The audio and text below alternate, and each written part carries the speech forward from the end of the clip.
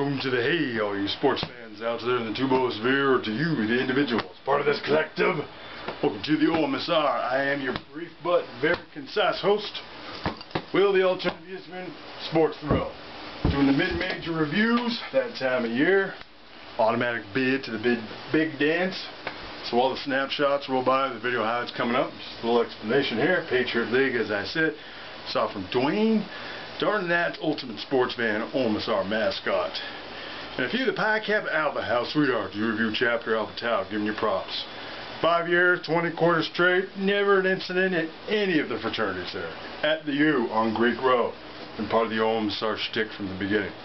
College sports, a little bit of the college life. Not going to portray them as cheerleaders. Alright. American and Lafayette. Not a rematch from last year. A lot of these mid-majors been covering have been rematches. This is a key play there at the end. Definitely you can see, you know, like a big man might let a little guard beat him by, but would definitely be able to block that shot. Difference in talent in some of these leagues sometimes. All right, and then after, a little discussion about, you know, can we have some criteria, please, for who gets a 16, who gets a 1, because it seems to keep changing every year. And it's yet another example of Jay Bilas and yours truly, Will the Thrill, think it exactly alike in the sense of this context, you should have a basketball background. You know, like for example, when I saw Condoleezza Rice on the committee for football, it's like, what? Okay, fine, you went to Stanford, but you know what I'm saying? So yeah, on that quickie sport rant, we'll end on that note. You'll never see the old Massar pretend to know anything about hockey. That's why I never cover IHL or NHL. All right. So that's coming up. Patriot League. Good game gives you a little feel for when you're filling out your bracket, more so than if you even saw the highlights, but you may have missed it. Alright, thanks for watching those silly DUIs while you're out there. Remind you, sports and alcohol, they are joined at the hip. Roll. Bracket Week on CBS Sports Network presented by Kubota. History in the making of the Patriot League. For the first time in the 25-year history of this league tournament, the top seed failing to make the final. Fourth-seeded Lafayette upsetting top-seeded Bucknell on the road, while sixth-seeded American is here as well looking to defend its league title from the Kirby Sports Center in Easton, Pennsylvania. It is the Patriot League Championship. Jason F. here. So glad to have you with us alongside the former team captain in Army and former Duke assistant coach Chris Spatola. And Chris, in a one-bid league, this is the one you dream about. This is why you put in all the work. Right here, you got a packed house. You're playing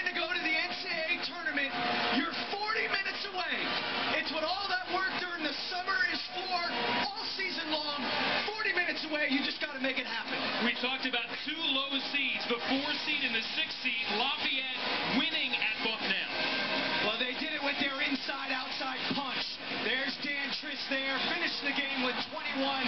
Such a load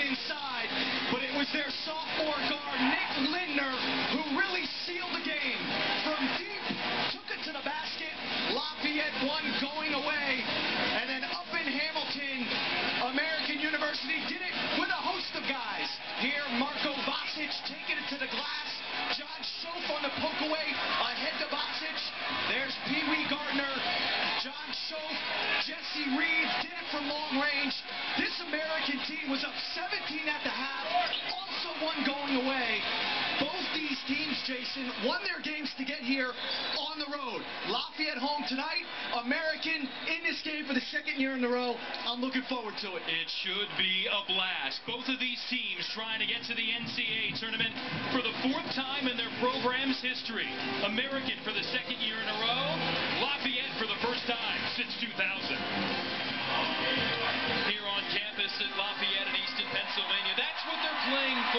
The Patriot League Tournament Championship Trophy and the automatic bid to the NCAA tournament that goes with it. American looking to put its name on it for the second consecutive year. AU winning on the road last season at Boston University, trying to go back to back and get it done on the road again here at Lafayette. Take a look at the starting lineups brought to you by Kubota. For American, the starting five, you'll see them a lot. Darius Pee Wee Gardner, Jesse Reed, John Schoof on the top 12 in minutes played in the nation. And for Lafayette, a trio of seniors in the first five, plus sophomore point guard Nick Lindner, who had 23 points in both the quarterfinal and semifinal rounds. Geico difference makers for this game, and John Schoof is going to go down as one of the best players in AU history. 125th career start for him. That's most ever for an Eagles player. Once just simply a great three-point shooter, his game evolving into a complete all-around player and leader. Same could be said for another senior in Dan Trist, the 6'9 player from Australia, a unanimous first-team All-Patriot League selection, top scorer in the league this year, and came through with a great 21-point performance in the semifinal against Bucknell. Chris Spatola is back courtside, ready to settle in for this one. And Chris, the contrast of styles here will be something to watch. They go about it very differently. Well, tempo is big, right? You know, American wants to control the tempo with their offense and their defense.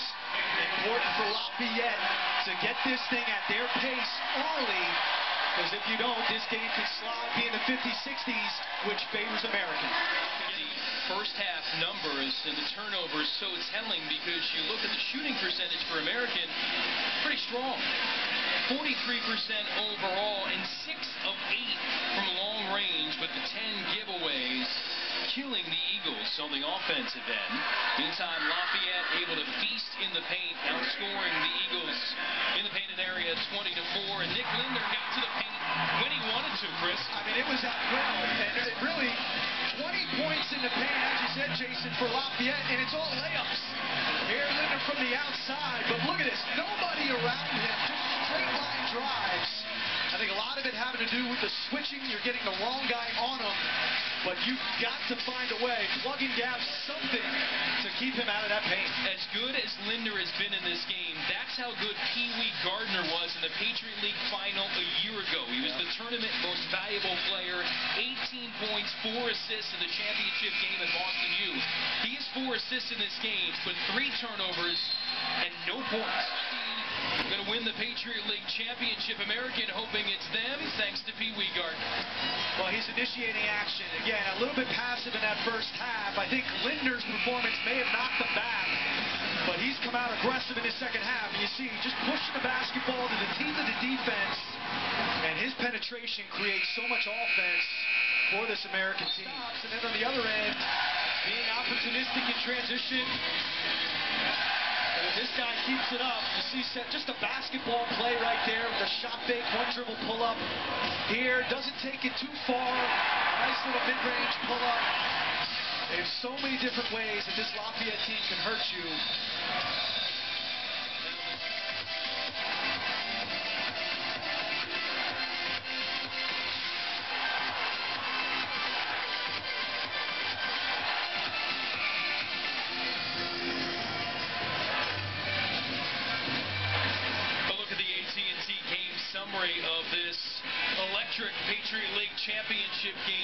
Shooting from distance from both teams. A little too many turnovers to the liking of both.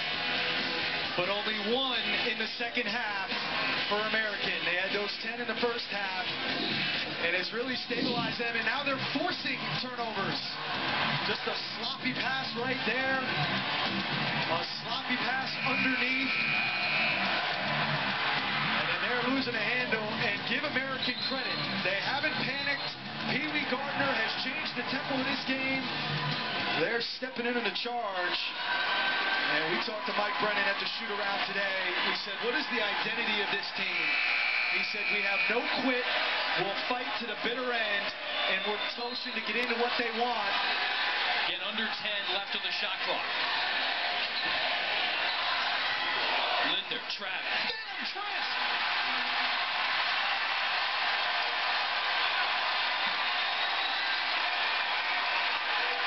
What a spot. Lafayette by four. Gardner for three. Got it! what an answer. These two guards have been unbelievable. Three times this year, Gardner hit a buzzer beater to win the game or force overtime.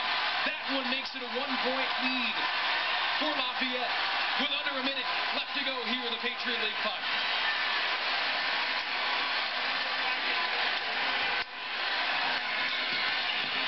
Lindner!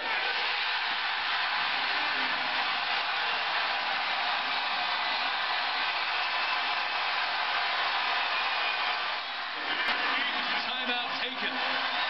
so many times in big games you see, especially with two starter-dominant teams, the frontline guys have the big moments, but Zach Rufer, big three, and an enormous rebound. An enormous rebound. Look at this drive from Nick Linderdahl. They've been running that ball screen all night, and look at how he just finds space. He just slashes in there, creates the space, and then look at this rebound. Two-handed rebound from Zach Rufer.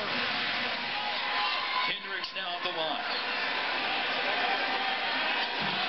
Missed. Still breathing room here for Lafayette. Gardner. The heave for three only changes the final number. But the final result, Lafayette, Patriot League champs, back to the NCAA tournament.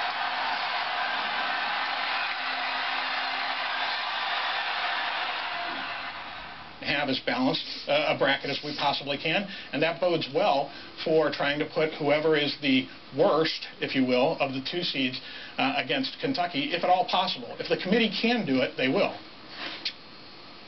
All right, Greg always gives us great insight. He'll be with us throughout the weekend and leading up to the unveiling of the bracket. I want to go back to the first thing that Greg talked about in terms of having more time uh, to evaluate the, the one seeds and two seeds. Is that putting too much emphasis in your judgment on, on one day, one night of basketball, Seth? Well, I think when you get to this time of the year, you're, you're basically splitting hairs. Not that I know much about splitting hairs. you have none. exactly. But you've got to find reasons why you're going to slide a team up and slide a team down. So what do you do? You take all the information available, and all the information available includes the games that are played this weekend. So I think you've got to take that into consideration. But the, you, by now you have a feel for a team's body of work and just how good a team is. And it goes back to me again, who wouldn't you want to play? All right? And that's how you should see this tournament. Like, who is the best team out there? And when you start doing that, it's Kentucky, Wisconsin, Duke, and now I think Villanova because Virginia's health situation. I think how good you are is really important, and that basketball judgment is important. But first, it has to go by accomplishment. Like, who did you beat? And all this stuff, like the, the, the refrain has been, who did you play, who did you beat? All right, who did you play isn't as important as who did you beat? You know, if, why don't we just come up with set uh, set criteria that determines whether you belong in or you don't belong in? You know what I mean? Or this is what the set criteria is for number one seed. I feel like each year we're having different discussions because it's subjective between all the committee members. It changes. Well, I, I don't think the sub, uh, the subjectivity is bad. Actually, I think they have to have some wiggle room to be able to make their own judgments. The complaint I've always had, and I know committee members take this as a slight, and I don't mean it as that, is that when you're asking people to make basketball judgments, they ought to have a basketball background in order to be the best possible, to make the best possible decisions. I think the committee does a terrific job, but it could be a better job. And when, when they have they've said over the years, boy, having Carol Williams, who's a, a brilliant basketball mind, or Dave Gavitt of one of the greatest of all time on the committee has been invaluable. Okay, well, if having one of them's on there is invaluable, how about we have 10? That would be great. Let's have 10 like that. I think the subjectivity is a great thing. For years, they talked about in college football, why can't they be like basketball and have a tournament? Well, there's a 14 tournament there. They pick their teams in largely subjective fashion, using a lot of objective criteria. If you if you don't have that, I don't need a committee. Give me the best metric you got and spit them out.